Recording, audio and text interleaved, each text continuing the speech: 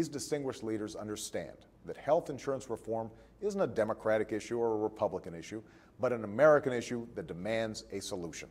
For 30 years, Loretta has distinguished herself as a tough, fair, and independent attorney. I am here to announce today the distinguished public servant I'm appointing as our nation's new ambassador to the People's Republic of China. Vice Admiral Fowler and faculty, distinguished guests, parents, family, and friends, the Brigade of Midshipmen,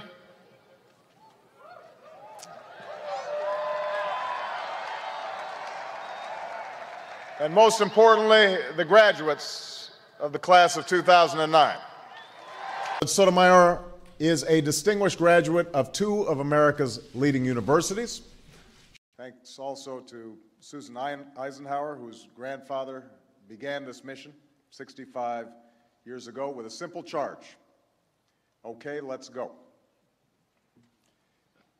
And to a World War II veteran who returned home from this war to serve a proud and distinguished career as a United States Senator and a national leader, Bob Dole.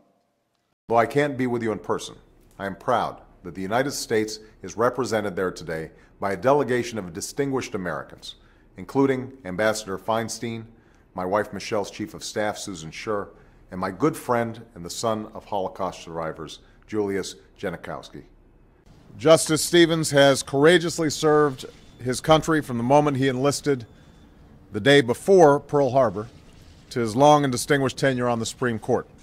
Mr. Ambassador, all of us were shocked and deeply saddened by the devastating loss of President Kaczynski, uh, the First Lady, and so many distinguished civilian and military leaders from your country.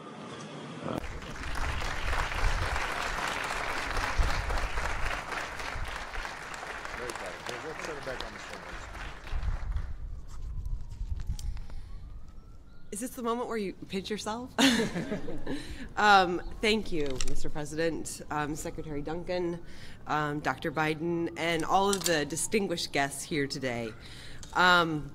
Let me also recognize FOP Auxiliary President Beverly Crump, members of the FOP Auxiliary, and members of Congress and my administration, including Attorney General Eric Holder and distinguished guests who are here today. Director of two critical organizations the National Geospatial Intelligence Agency, and the Defense Intelligence Agency. And during a distinguished career in the Air Force, Jim developed an intimate understanding of our human and technical collection programs.